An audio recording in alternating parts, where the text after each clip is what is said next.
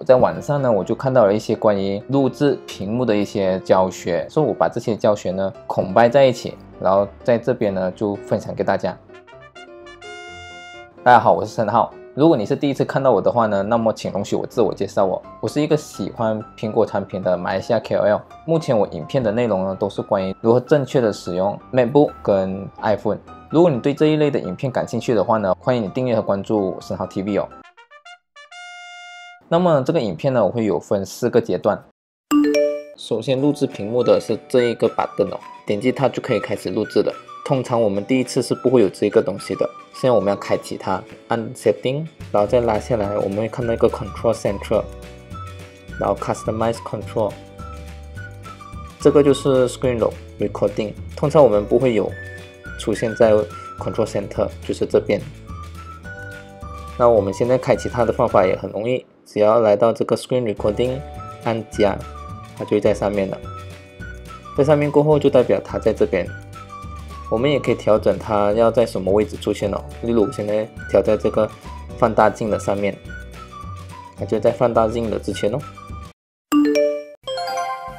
没有声音的开启呢，其实我们只要点它一下，它就会倒数三秒，然后让我们开始。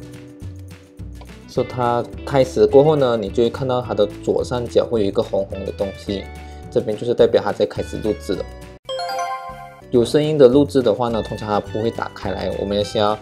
点这个九九，然后你看到我们下面有个 microphone off，就是它关闭了，所以我们先点击它开启，才会录到有声音。我们就按 start recording。同样的，它倒数三秒过后就会开始录制了。这一个视频呢，这个录制的屏幕呢就会有声音，等下我们给大家看看哦。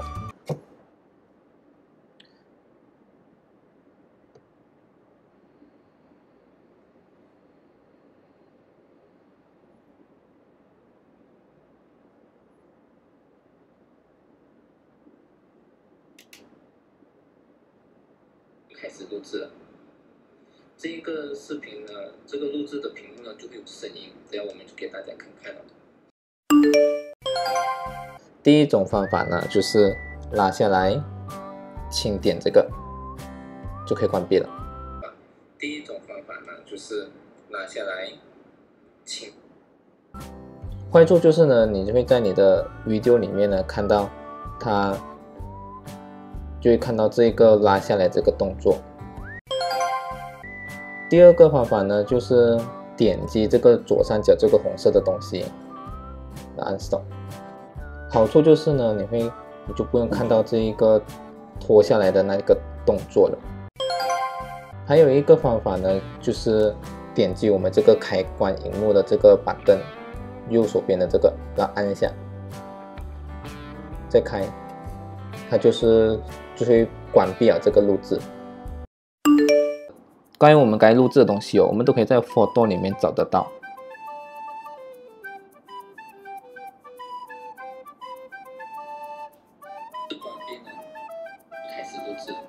同样的，我相信在看影片的你哦，应该都会知道一些我不知道的东西。无论是关于 iPhone 或者是 MacBook，或者是其他苹果产品的使用小技巧，我都非常非常欢迎你可以分享给我。好了，以上就是今天我要跟你分享的 iPhone 如何录制视频的一些小技巧。如果你觉得这影片对你有所帮助的话，欢迎你给我个赞，也分享给你的朋友，说不定他们正好需要这样子的资讯。如果你在使用 iPhone 的时候遇到什么问题的话呢，欢迎你留言告诉我，我们一起来讨论哦。我是申浩，我们下一个影片再见，拜拜。